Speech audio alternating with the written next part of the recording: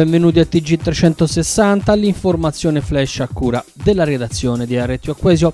Sono molto gravi le affermazioni dell'assessore Rometti sulla questione del pedaggiamento della E45 quando rivela che la relazione economica contenente le esorbitanti proposte di pedaggio è stata presentata dal privato al Ministero delle Infrastrutture alla fine del 2013. Inutile domandarsi il motivo per il quale né Consiglio regionale né Comunità regionale siano stati messi a corrente di ciò che si andava profilando per le famiglie e l'economia regionale.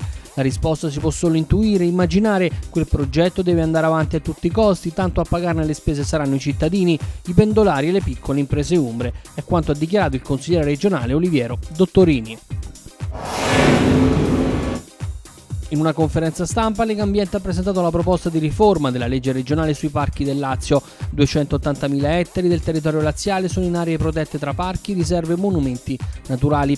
Lo slancio essenziale per rilanciare l'azione dei parchi stessi dovrà passare immancabilmente dalla revisione legislativa della legge 27 di 15 anni fa.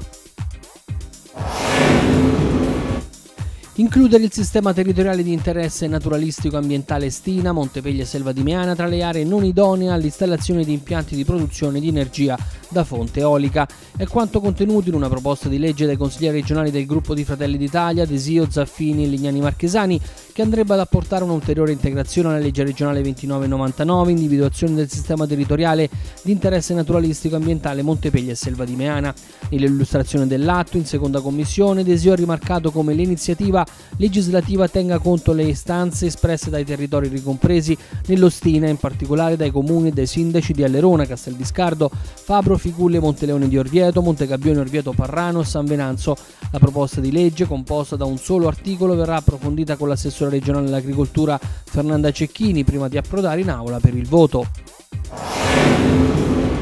Notizie totalmente errate e fuorvianti, con queste parole Gnagnarini prova a tacitarne alcune legittime e corrette considerazioni avanzate da identità e territorio da altri esponenti dell'opposizione in merito all'aumento del costo orario dei parcheggi insilati. Lo stesso assessore afferma letteralmente che l'innalzamento delle tariffe dei parcheggi di Via Roma e Foro Boario riguarda solo ed esclusivamente i non residenti sia del comune di Orvieto sia dei comuni limitrofi.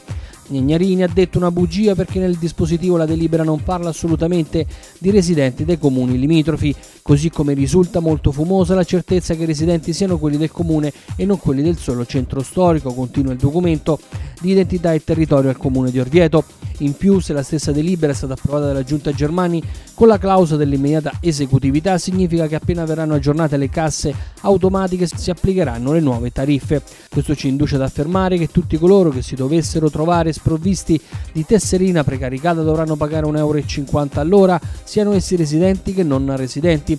Riteniamo che questa delibera, conclude il documento, rispecchi la confusione che regna nella maggioranza che sorregge Germania e che Gnagnarini, prima di fare affermazioni pubbliche, legga spiega meglio gli atti che approva in giunta.